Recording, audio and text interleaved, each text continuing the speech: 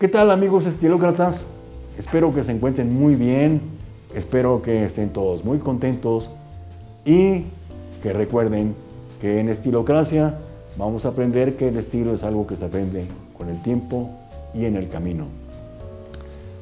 Ustedes han visto, andando por la calle, una serie de anuncios, letreros espectaculares de los relojes Nivada algunas personas no los consideran unos relojes finos, pero la verdad de las cosas es que es una compañía que tiene más de 100 años de existencia y 100 años de experiencia fabricando relojes cuentan. Y cuentan mucho, porque quiere decir que los relojes Nivada de hoy por hoy traen toda una historia atrás, traen toda una tecnología y traen toda un, todo un control de calidad muy bien cuidado, porque permanecer 100 años en el mercado no es cualquier cosa. Vamos a ver qué les parece a ustedes esto que les vamos a contar acerca de esta marca Nivada de relojes. Ustedes conocen los relojes Nivada. Esta compañía fue fundada hace más de un siglo, en el año 1879 en Gringen, Suiza.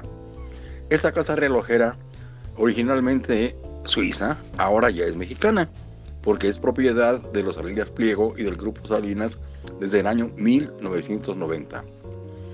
Ahora bien, si usted tiene un Nivada de antes de 1990, muy probablemente fue manufacturado en Suiza, pero si fue, manufacturado después del año 2000, posiblemente su reloj haya sido ya manufacturado en México. La compañía Nivada ha sido dirigida por muy pocas personas.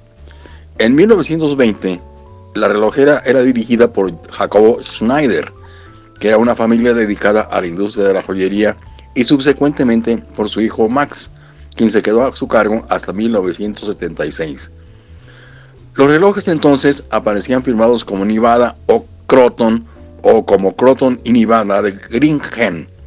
La compañía empezó a firmar así para que sus relojes no se, no se confundieran ni disputaran con los relojes de la marca Movado, porque Nivada y Movado son palabras muy parecidas. ¿Por qué son tan populares los relojes Nivada? Miren, desde 1930 fueron los primeros relojes en manufacturar relojes automáticos, pero de manera masiva, así como relojes pequeños destinados a mujeres y, además también hacían relojes de acero inoxidable, cosa que era ya también una novedad en esos entonces. También se, se convirtieron en una especie de amuleto de la buena suerte. Le voy a explicar por qué. En la Segunda Guerra Mundial en Europa, las mujeres le regalaban a sus maridos en un reloj Nivada antes de que partieran a la batalla, y cuando los veían volver atribuían al Nivada una buena parte del éxito. En los años 50, dentro del Año Internacional de la Geofísica, Nivada creó el reloj a prueba de agua automático y de nombre Antártica, que fue utilizado por el equipo de marinos americanos que a mediados de los 50 se fueron al Polo Sur. Nivada continuó fabricando este modelo por varios años y así fue como la marca se popularizó aún más. Con ello demostraban que la marca podía fabricar relojes que podían desempeñarse confiablemente en condiciones extremas. En estos años 60 hubo un boom de cronógrafos suizos y Nivada participaba exportando a finales de la década hasta 173 mil relojes. El cronómetro tuvo un éxito considerable y su producción llegó hasta los 70. Su diseño evolucionó gradualmente y utilizó el movimiento Baljux, un tipo de movimiento sin columna. A medida que avanzaban los años 70, se lograron relojes más baratos de cuarzo y así, siguiendo esa línea, lanzaron un, reloj que se llamaba el Deftomatic, que fue el primer reloj para abusos con un indicador de la profundidad en que se, estaba alcanzando. Y un poco más tarde lanzaron el Depth Master, que podía sobrellevar presión hasta de 100 atmósferas. En los 60 el Chronomaster también alcanzó fama. Compartía algunos atributos con el Diver, pero se lanzó con varias designaciones como Chronomaster, como Aviator y como Sea Driver, que eran mucho más económicos que los clásicos mecánicos. Nivada intentó mantener su posición ampliando el rango de sus productos e incluyendo más automáticos y relojes, aún más a la moda, tal como los modelos como el Leonardo da Vinci y otros más.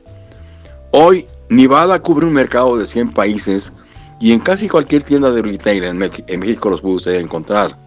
Si usted es un coleccionista de relojes, no puede faltarle uno de esos en su colección. Los clásicos, los verdaderamente clásicos de Nivada son el Chronomaster, el Rolamatic, el conocido como Rolador, el Reglavit, el Antarctic, el Master, el Alerta Matic o el Ultramatic, o el Racing Dial Chronograph o el GMT. Algunos de estos relojes pueden valorarse hasta en 5.200 dólares. Esto es todo lo que les podemos contar acerca de los relojes Nivada por lo pronto. Cualquier otra duda o cualquier otra pregunta, con toda confianza en el foro, nos la pueden hacer saber.